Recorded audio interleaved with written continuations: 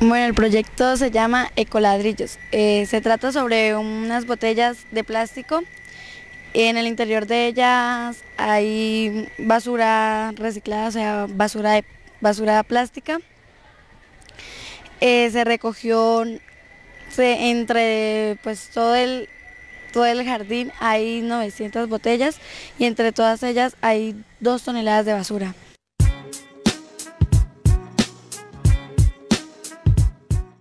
Pues todo empezó que acá en Villanueva los profesores se empezaron a dar cuenta que se botaba mucha basura y que Villanueva siempre estaba sucio, entonces se dio la, como la propuesta de algo para que Villanueva no estuviera tan sucio, que se viera limpio y que fuera un ejemplo a seguir. Entonces, bueno, pues el profesor Wilson dio la propuesta de hacer los ecoladrillos mágicos reciclables.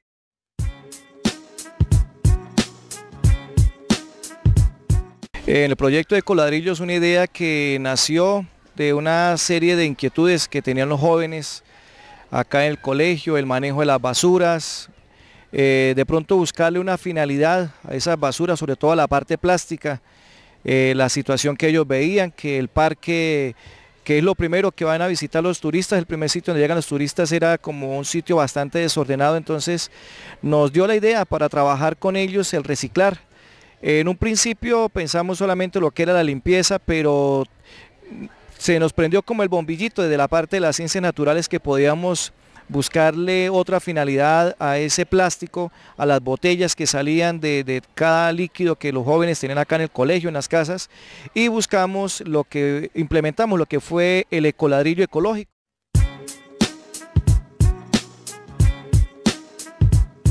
Es una botella compacta, se llama ecoladrillo porque cumple la función de un bloque, de un ladrillo, es totalmente macizo, la duración por la fuerza con que se metieron dentro de ellos todos los plásticos que se pueden recoger. Tenemos de distintos tamaños, los muchachos recogieron botellas de distintos tamaños, acá no se desperdició ni siquiera las, las botellas de ponimata, las pequeñas, que las utilizamos para crear columnas.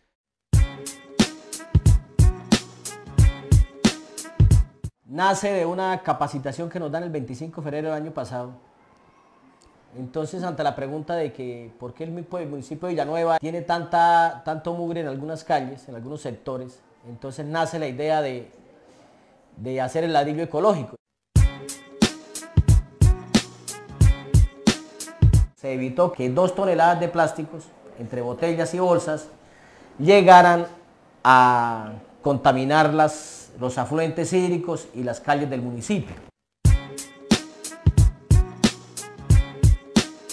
Ya vemos una parte del colegio ubicada entre, el laboratorio de inglés y el salón de artística y el laboratorio de química. Eh, hay unos jardines muy bonitos que sirven para dar clases y hacen muy ameno los espacios educativos del colegio. Es un espacio donde los muchachos van a sombrear, van a disfrutar de, los jardines, de las flores, de, de ese espacio bonito.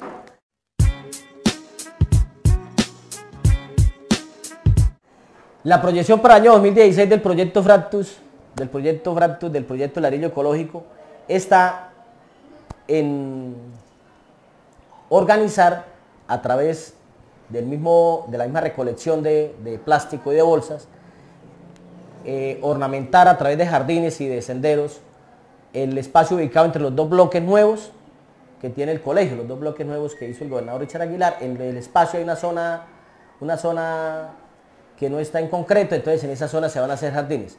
Al igual que la parte, la parte de atrás de uno de esos bloques, que linda con la cancha del establecimiento, también la van a, a adecuar con jardines. Entonces esos espacios ya fueron adjudicados a los salones entonces estamos en la recolección de las botellas y de los plásticos.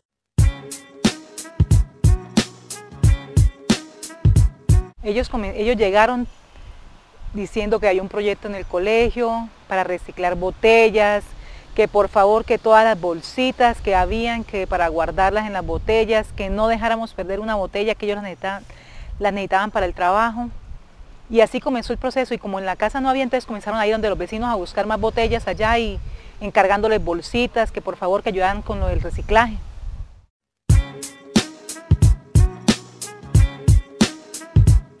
Que no boten las botellas plásticas, ni, los, ni las bolsas plásticas, sino que las laven y hagan el proceso del llenado de las botellas con las mismas para conformar los ladrillos ecológicos y así pues logramos dos objetivos. Uno, descontaminar de, de suciedad el pueblo y las fuentes hídricas y los caminos veredales.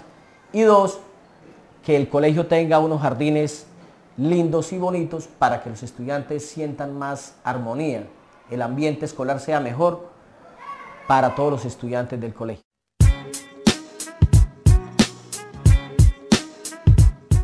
Concientizar a todos los estudiantes para que empezáramos a recoger todos los frascos y toda la papelería que encontráramos y la fuéramos a depositándola en cada uno de esos frascos.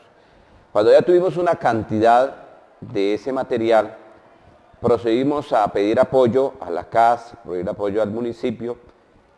En eso estaba el señor Toño, el anterior alcalde, y nos colaboró con la arena, con el cemento, y junto con los estudiantes empezamos a realizar el diseño del parque como una forma de ecológica de, de prestar un servicio a los estudiantes para que pudieran sentar, para que pudieran observar el medio ambiente, para que pudiéramos mirar cómo pudiéramos reutilizar todos estos materiales en una forma ecológica que sirva como parque y a la vez como reciclar.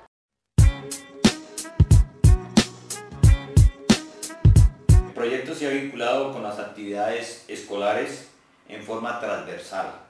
Alumnos, administrativos, docentes, padres de familia y directivos vamos caminando hacia el mismo horizonte para alcanzar la meta propuesta, la cual es extender nuestros pensamientos para que otras instituciones acojan y apliquen este modelo de proyecto investigativo, el cual ha sido un éxito total que llevaremos a desarrollar en las otras sedes. Termino agregando que el trabajo mancomunado y en grupo siempre lleva al éxito y queda demostrado que todo gran proyecto realizado siempre inicia con una pequeña idea. Estamos todos invitados a preparar nuevos proyectos, nuevas investigaciones para el éxito de nuestro municipio, de nuestra institución, el nombre de nuestro departamento a nivel nacional. Muchas gracias.